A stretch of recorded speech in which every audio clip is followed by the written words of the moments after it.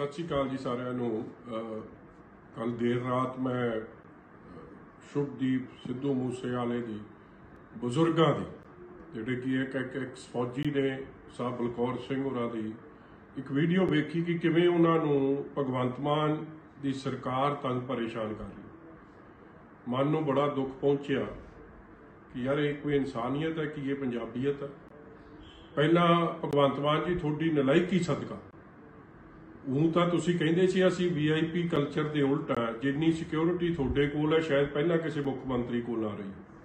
ਤੁਹਾਡੇ ਵਜ਼ੀਰ 4-4 5-5 ਗੱਡੀ ਲੈ ਕੇ ਚੱਲਦੇ, ਤੁਹਾਡੇ ਐਮਐਲਏ ਤੱਕ ਤੁਸੀਂ ਉਹਨਾਂ ਨੂੰ 15-15 20-20 ਗਨਮੈਨ ਦਿੱਤੇ। ਔਰ ਜਿਹਦੀ ਜਾਨ ਖਤਰੇ 'ਚ ਸੀ, ਜਿਹੜਾ ਉਸ ਸਮੇਂ ਇਹ ਇੰਟੈਲੀਜੈਂਸ ਦੀ ਰਿਪੋਰਟ ਸੀ, ਉਹਨੂੰ ਗਨਮੈਨ ਮਿਲੇ ਸੀ, ਸਿੱਧੂ ਮੂਸੇ ਵਾਲੇ ਨੂੰ, ਉਹਦੀ ਸਿਕਿਉਰਿਟੀ ਤੁਸੀਂ ਵਿਡਰਾਅ ਕੀਤੀ।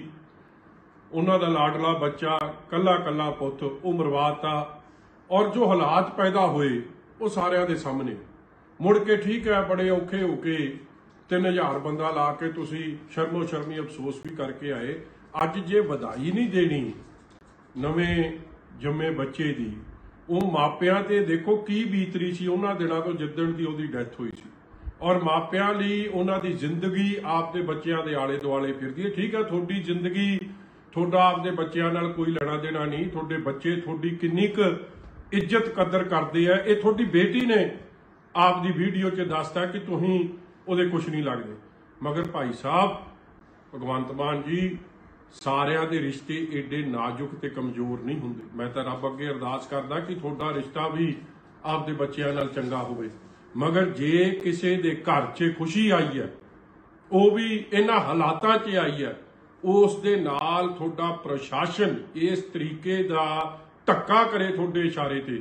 ਆਈ ਕੰਡੈਮ ਇਟ ਔਰ ਮੈਂ ਇਸ ਮਸਲੇ 'ਚ ਠੋਕ ਕੇ ਤੁਹਾਡੇ ਉਲਟਾ ਔਰ ਮੈਂ ਲੋਕਾਂ ਨੂੰ ਅਪੀਲ ਕਰਦਾ ਕਿ ਤੁਹਾਡੇ ਵਰਗੇ ਇਨਸਾਨ ਨੂੰ, ਜਿਹਦੇ 'ਚ ਕੋਈ ਕਦਰਾਂ ਕੀਮਤਾਂ ਨਹੀਂ ਹੈ, ਜਿਹਦੇ 'ਚ ਦਰਦ ਕੋਈ ਨਹੀਂ ਹੈ, ਜਿਹਦੇ 'ਚ ਉਹਨਾਂ ਮਾਪਿਆਂ ਦੀ ਜੋ ਉਹਨਾਂ ਦੇ ਹਾਲਾਤ ਬਣੇ ਆ ਪਿਛਲੇ ਸਾਲਾਂ 'ਚ, ਉਹਨਾਂ ਦੇ ਬਾਰੇ ਤੁਸੀਂ ਸੋਚ ਨਹੀਂ ਸਕਦੇ। You have no right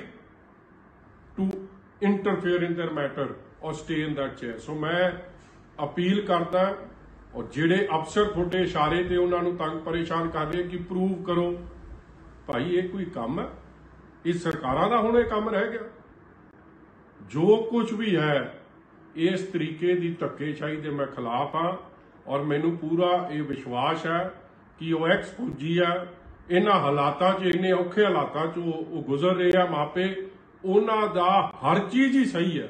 ਔਰ ਤੁਹਾਡਾ ਕਿਸੇ ਦੀ ਪਰਸਨਲ ਲਾਈਫ 'ਚ ਦਖਲ ਦੇਣਾ ਬਿਲਕੁਲ ਗਲਤ ਗੱਲ ਹੈ। ਔਰ ਤੁਸੀਂ ਬੰਦੇ ਬਣ ਜਾਓ। ਇਹ ਗੱਲਾਂ ਬਹੁਤ ਮਹਿੰਗੀਆਂ ਪੈਣੀਆਂ ਤੁਹਾਨੂੰ। ਆਸ ਕਰੂੰਗਾ, ਉਮੀਦ ਕਰੂੰਗਾ ਕਿ ਸਾਰੇ Punjabi right thinking people even ਪ੍ਰਸ਼ਾਸਨ 'ਚ ਬੈਠੇ ਲੋਕ, ਪੁਲਿਸ 'ਚ ਬੈਠੇ ਲੋਕ ਐਡਮਿਨਿਸਟ੍ਰੇਸ਼ਨ 'ਚ ਬੈਠੇ ਲੋਕ, ਪੰਜਾਬ, ਦੇਸ਼, ਦੁਨੀਆ 'ਚ ਬੈਠੇ ਲੋਕ, ਸਰਦਾਰ ਬਲਕੌਰ ਸਿੰਘ ਦੇ ਹੱਕ ਵਿੱਚ ਆਉਣਗੇ। ਔਰ ਭਗਵੰਤ ਮਾਨ ਦੀ ਇਸ ਘਟੀਆ ਸੋਚ ਨੂੰ ਕੰਡੈਮ ਕਰਨਗੇ। ਬਹੁਤ ਬਹੁਤ ਧੰਨਵਾਦ। ਵਾਹਿਗੁਰੂ ਜੀ ਕਾ ਖਾਲਸਾ, ਵਾਹਿਗੁਰੂ ਜੀ ਕੀ